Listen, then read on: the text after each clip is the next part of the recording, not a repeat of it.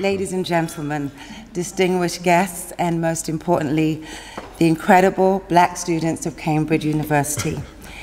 Thank you so much, Lord Woolley, for having me here and asking me to be part of your Black History Month and part of your celebration. It's such an honor for me to be here, and I wouldn't want to be anywhere else. I'm thrilled to be here and honored to pass through the halls of this prestigious institution.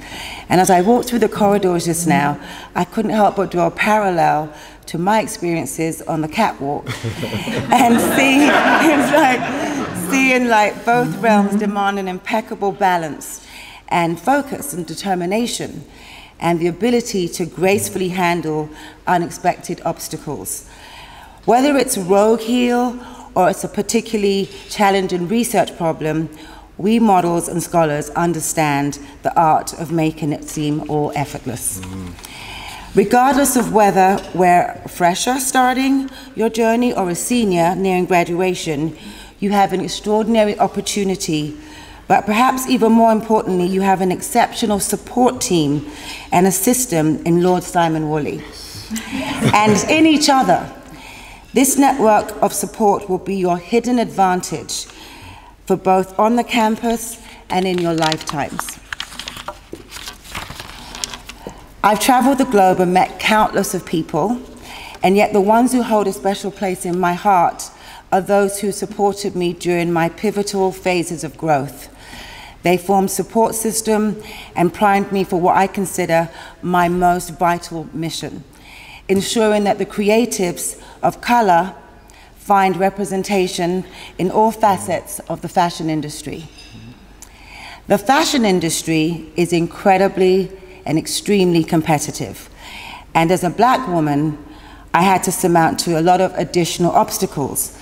And I swiftly became apparent to me that despite the success myself and fellow black models were achieving, that our presence on magazine covers and in advertising were disproportionately scarce.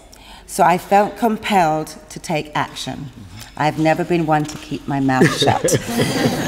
so, alongside my dear friends Bethann Hardison and Iman Bowie, we established the diversity coalition to address some of these issues and challenges. And while we've been sustaining strides, substantial strides, there remains to be a lot of work to be done ahead. But many standards, I'm often, by many standards, I'm often labeled as successful much as you are today, based on where you sit and at this very moment in your life. But what defines success? And how do we know if we've achieved success? I want to share a life lesson that I've been through, and it's been my North Star throughout my career. Success and failure are concepts that you must personally define, and the key to make success is attainable path and failure to a difficult option. Success and failure should not hinge on where you went to school, right. the job that you have, or how much money you make. Mm. For me, success is giving it everything you've got, pouring your heart and soul into your dreams. Conversely, failure is not even trying. It is simply a simple yet profound, impactful notion.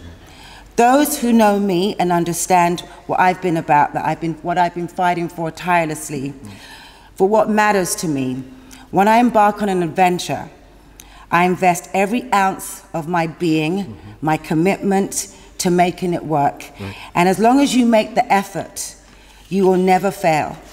Right. For me, in my view, inaction is failure. Yes, yes. So my message to all of you is simple. Continue to support one another, because that is so important. Continue to dream big mm. and always give it everything that you've got. Together, you are a force to be reckoned with. You are a force to be reckoned with with this man, and you can achieve anything. Let your dreams be your compass and also your determination to your guiding star. I want to thank you for affording me and having me here tonight. It's such an honor. And Simon, thank you so much, Lord Simon Woolley, Thank you. for your unwavering support. He has been so supportive to me when there have been many times when I thought I just wanted to give up. And for this unwavering support of extraordinary young men and women tonight, you, this is about you.